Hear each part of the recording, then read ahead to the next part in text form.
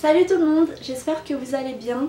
Alors tout d'abord je tenais à m'excuser pour euh, mes absences des dernières semaines. Je sais que j'ai pas du tout publié de vidéo, c'est tout simplement parce que j'avais vraiment pas le temps, j'avais les examens à passer. Ensuite euh, je devais voyager, comme vous voyez il y a un fond différent derrière moi, c'est parce qu'on est dans ma chambre à Madagascar. Et euh, en plus une fois arrivée ici j'avais beaucoup de commissions à faire, du coup je pouvais vraiment vraiment pas filmer et ça me manquait beaucoup mais là c'est bon, je suis de retour pour de nouvelles vidéos. Je vais vous présenter mes 5 conseils ou astuces ou je sais pas, indispensables pour faire pousser ses cheveux plus vite et les maintenir en bonne santé. Donc si ça vous intéresse, regardez jusqu'à la fin. Je voulais aussi m'excuser pour le bruit qu'il y a dehors. Je sais qu'il y a beaucoup de bruit parce que, euh, je sais pas, les gens ici ils aiment bien faire du bruit. Donc si vous entendez beaucoup de bruit, des enfants qui crient ou des gens qui tapent euh, avec des trucs, c'est normal. mais euh, voilà, je suis désolée. J'essaie de filmer au moment où c'est le plus calme, mais ça l'est jamais ici en fait. Du coup, euh, du coup voilà. Alors mon premier conseil ce serait de passer au naturel. Et quand je dis passer au naturel en fait c'est apprendre à aimer euh, ses cheveux naturels c'est à dire d'arrêter de se les lisser ou d'arrêter de se les boucler tout simplement parce que ça abîme vraiment beaucoup les cheveux. Vous allez avoir les cheveux qui vont commencer à, être cassants, à être vraiment fragiles.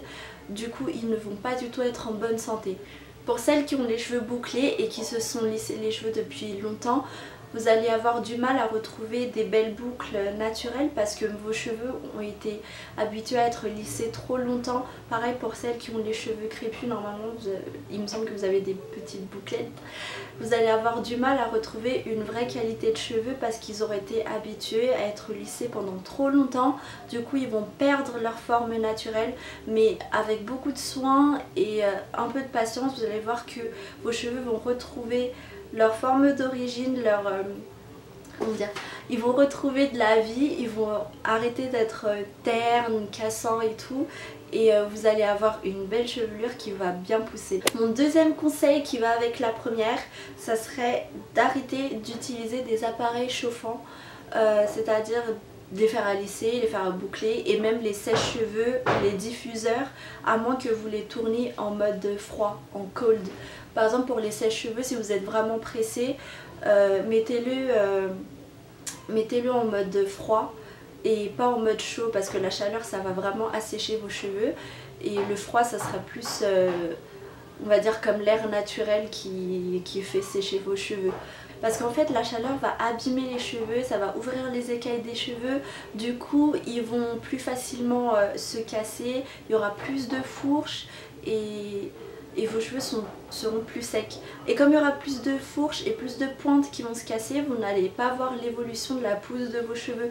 C'est-à-dire que vos cheveux poussent de la racine vers les pointes et si vos pointes cassent et remontent, vous n'allez pas voir que vos cheveux ont poussé. Au contraire, vous allez avoir l'impression qu'ils stagnent ou ils ne poussent plus du tout.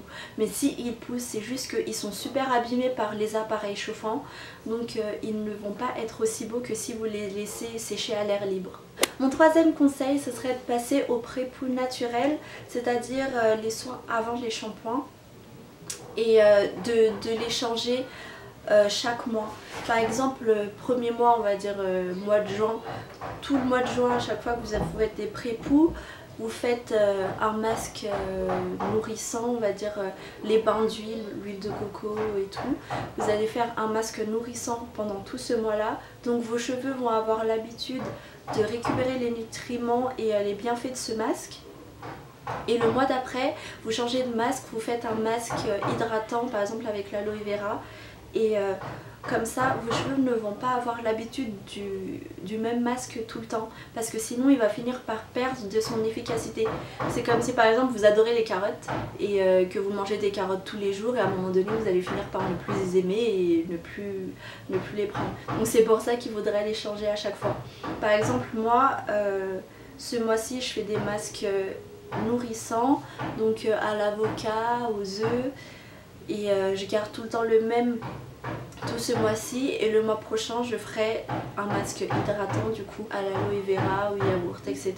Mais chaque mois je change et à chaque fois que je repasse au masque nourrissant, je ne réutilise pas le même masque précédent, j'en fais un autre. Donc comme ça je suis sûre que chaque mois mes cheveux seront et nourris et hydratés, enfin à chaque fois. Et euh, aussi que fois, ils prennent le bienfait des, masques que je leur donne pour qu'ils soient euh, toujours en bonne santé et qu'ils poussent mieux. Quatrième conseil, ce serait de se rincer les cheveux à l'eau froide. Alors pourquoi à l'eau froide et pourquoi pas à l'eau chaude?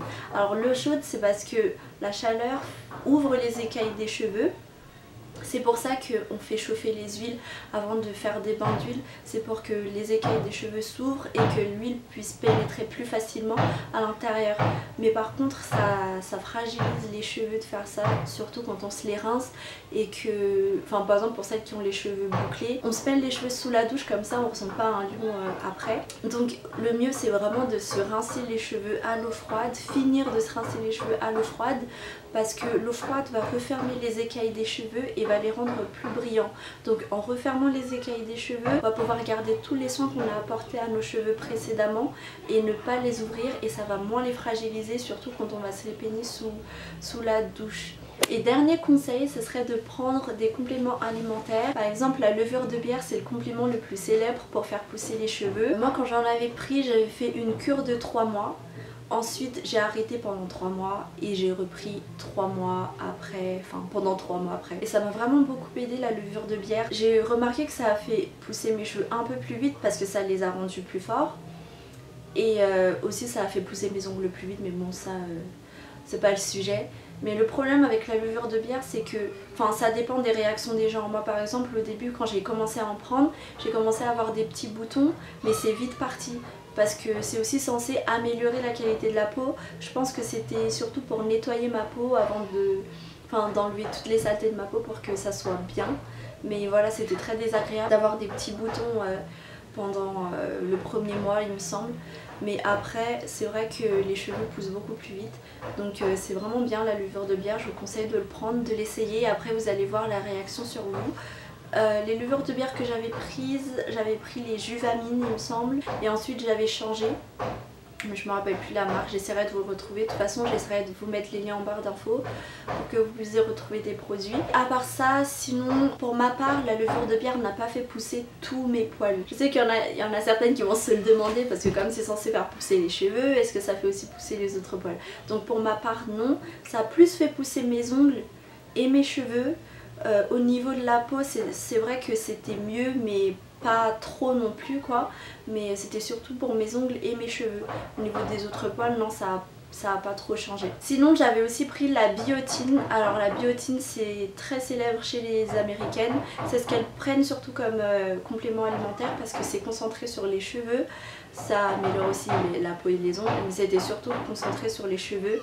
Après euh, ça dépend euh, combien de MCG vous prenez. Il me semble que j'avais pris le plus bas et j'avais fait une cure de 6 mois et après j'ai arrêté. C'était pas mal efficace aussi la biotine. Euh, par contre, on peut pas, peut pas l'acheter en France. Je pense que vous pouvez pas le trouver en France. Je l'avais pas trouvé ici. Ici. Je l'avais pas trouvé en France. Mais euh, je l'avais acheté aux États-Unis. Du coup, euh, j'essaierai de vous mettre des liens. Normalement, vous pouvez trouver ça sur Amazon ou partout, je pense. Mais je vous mettrai aussi les liens en barre d'infos. Comme ça, vous pourrez trouver tout ça. Voilà, j'espère que ça vous aura aidé, que ça vous aura un peu plus éclairé. Si ce genre de vidéo vous plaît, n'hésitez pas à me le dire, à mettre un petit pouce en l'air. Comme ça, ça je le saurai et euh, je pourrais en faire d'autres s'il y a d'autres conseils que vous aimeriez savoir. J'ai déjà noté les idées que vous m'avez demandé, vous inquiétez pas je vais les faire, c'est juste que j'avais vraiment pas eu le temps pour le moment mais là je commence à reprendre le rythme. Sinon pour ceux qui sont à Madagascar, je le précise parce que c'est une émission en malgache, du coup les autres vous n'allez pas comprendre. Je vous laisserai en barre d'infos le lien de la vidéo euh, sur YouTube de mon passage sur Cool TV pour euh, vous expliquer un peu, enfin pour mieux me connaître. Après pour les autres, si vous avez des questions à me pour essayer de me connaître un peu mieux, euh, on peut faire un ask ou genre un tag si vous voulez. Et euh, il suffit de me dire en commentaire, je le ferai. Et, voilà, j'espère que vous passez de bonnes vacances. Je vous fais des gros bisous et à bientôt.